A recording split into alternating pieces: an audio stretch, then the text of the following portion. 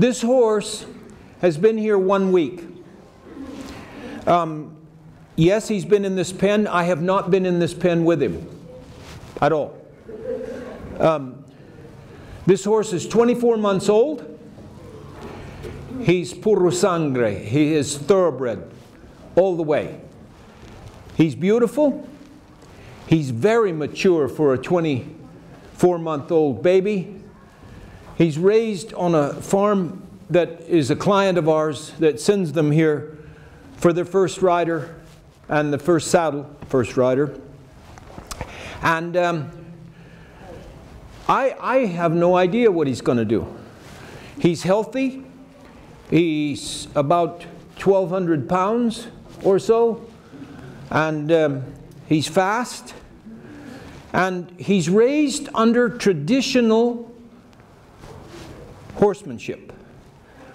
So he gets a bit of um, physical discipline, if you will. But in watching the last group that came in, it seemed that he would tolerate, thank you, that's backwards. it seemed like he would tolerate, he's going to look around and wonder about you all because you're kind of funny looking people. And he's a, um, a horse. So he has his eyes on the side of his head.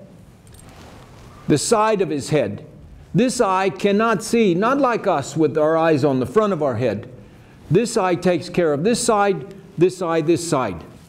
Okay? And he knows immediately that I'm a predator. My eyes are in, in the front. He knows my body. He knows my pulse rate. He knows it. And I know his.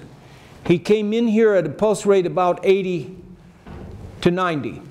I'm just going to introduce him to the center of the pen here, and he'll do that. And I've got people here that know all about that. Why do they do that? Every time you go to an auction sale for young horses, and every time they come in the sales ring, they empty their gut. Why do they do that? You know, some of you have been to the races, and you know this race they call a handicap. What is a handicap race? Well, it's where the racing secretary wants betting, so they say this horse will carry 120 pounds, and this horse will carry 122, and this one will carry 128, and he tries to weight them so that they all will arrive at the finish line at the same time. So the betting, there'll be a lot more betting on them because there's no long favorites. Huh? That's not the kind of races that most of you watch on television. I'm going to have to have uh, the, the, the, little voices like that will really catch his attention. Um, it's not the kind that you watch on television because those are the big races and they're not handicaps. But the handicap races are put on for the betters. And a pound on a horse will slow him up in a mile about a half a length. Two pounds, one length. Three pounds, a length and a half, etc. So when these horses are grazing in the middle of a big area, and they happen to smell a lion coming, or a tiger, or a grizzly bear, if they are sharp, and remember that every horse is hypervigilant and they all have post-traumatic stress. They live to be food for the predators. They only eat grass. They've never killed another species. So, before that lion gets there, they empty their gut. That was about three pounds. Go figure. All he has to beat is one horse out of the meadow, and the lion eats the other horse. So these horses are survivors of the fittest, and they know what they're doing. Emptying the gut is a manifestation of an, an elevation of adrenaline because he's looking up there at all these strange faces. He's never seen anything like this before. He's never been in this place with the lights on before. He's been in here, but not with the lights on and not with an audience like this. So I'm just going to take this line off of him now and slap my leg and he'll go away from me. Eyes on eyes, shoulders square, I'll just pitch that line out and say, go on away. Because they're flight animals. I'm giving him a chance to express his flight tendencies. So he'll leave me. Now, so he leaves me. And he's happy about that because I kind of worry him anyway. And he's never met me before. I've never, that's the first time I've ever touched him right there. But I know my business enough that I know that this horse is a horse. And that means that for 50 million years he has studied his own communication system. And I've discovered it. Eyes on eyes, shoulders square, fingers open, he goes faster. I'm going to show you the other way around and I'm going to predict for you the conversation that he'll have for me. He's going on the right lead now. Look at the right legs are going the greater distance, leading to the inside. I'm going to change him and ask him to go the other way. Now he's leading with the two left legs, leading on the inside. That gives him the most chance to run fast. Some of you may know this, some of you may not. All cows run disunited, left in front, right behind. God made them that way so they couldn't outrun the horse and we could catch up to them. it's true. It's true, they do it anyway. I don't know if God had anything to do with it, but they cross lead or disunite. So he's going on the left lead now. Two left legs. I'm going to turn him around and go the other way for his psychological. See, he's looking at me with the left eye. And he's already seen me with the right eye, but this is the first time he's seen me with the left eye. Now I'm going to put him back in the original direction that he traveled. Watch how he'll be more relaxed because he's been here before and he'll go slower. Watch how he will put this ear on me and then lick and chew. Yeah? Put this ear on me. Try to keep the little voice down. The other ear will listen to the rest of the world. And he'll lower his head right down by the soil. Four, four gestures we're looking for. The ear, licking and chewing, lowering the head, and making a smaller circle, which he hasn't done yet. We're looking for four. Three we've had. There's the lowering of the head. It's like I need a leader. Deference to me. He, he says I'm important in his life with his ear. The licking and chewing, manifestation of the lowering of adrenaline. Now he's ready to almost to do join up, but he, please, he uh, hasn't done his smaller circle coming off the wall. He's just thinking about it now. So I'm just going to send him on a little bit and let you see that I can predict what he's going to do. There's the smaller circle. Coming off the wall a little, hanging that head over and looking at me saying, can I come closer to you? I'm just a poor horse. Look at that. There's the smaller circle. There's the smaller circle. Just as plain as day. Now watch when I open my hand.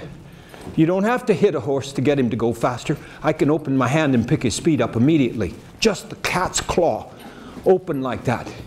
And watch what happens. I'll keep doing it until I get him right on up to the canter. Like that. And then watch this now, and I'll drop my hand down, close my fingers, bring my hand down across my body, and I can pull him right down to a stop. That's, World Book was right up here, and uh, Britannica, and they now say, oh, there is some work being done that might indicate that there is a language, that there is a communication system between horses, not a language, communication system between horses and humans. Watch now as I open my fingers. Now, if a deaf person was that adept to watching the signals, the gestures that you make, you would call it communication. Sure enough. So all four gestures are in clearly. and I'm ready to do join up.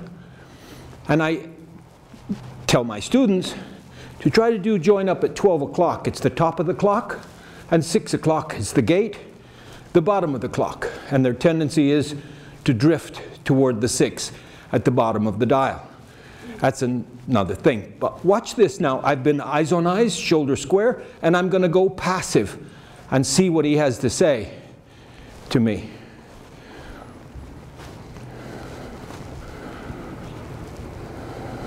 Shoulders on a 45, fingers closed. There's the moment of join up. Perfection.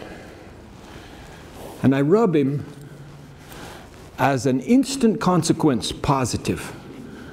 The pick. This is the pick. The nick has been done. Now he's happy. The pulse rate has fallen now just over 50 probably. And I'm just going to walk away from him now and see where he wants to be. When the professionals first saw this in the late 40s when I was showing it, man, I was ostracized. And after I wrote a book about it and identified it, after 11 world championships, I was thrown out of the Hall of Fame because I didn't respect tradition. And that's okay. If you have to respect tradition to the extent that you can't improve, then I don't want to be in their Hall of Fame. They even threw my horse out, my best horse out. Can you believe it? But I mean, my life was threatened three or four times a week for a year or so after my first book came out. Now this horse is so happy with me that there's just no getting away from him. he wants to kiss me. That's a good boy. Now, how many times does this happen? What you just saw? Every time. If we get it right, if I get it right, every time it happens. But don't some horses do things wrong? Really? We would blame them if they did something wrong, wouldn't we? They can't do anything wrong. They only have two goals in life. One is to survive and the other to reproduce. And he's only thinking about survival.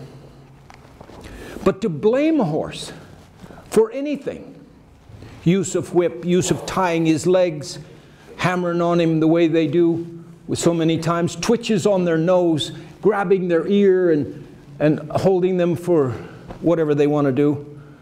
To blame a horse for anything is like blaming the night for being dark. Their actions have to be natural, normal. They can't do otherwise. They can't plan against you. They can't do anything against you. When they walk to you, it's because they want to walk to you. I'm not making him do it. I can turn him loose. There's no demand here whatsoever. And he wants to be with me. And the scientists are going crazy now because it goes against a lot of what they taught for so many years. We're going to get on the people carrier now and go to the house, and I'm going to be with you all through dinner. So I'm going to answer a lot of questions up there. Thank you very much. Okay?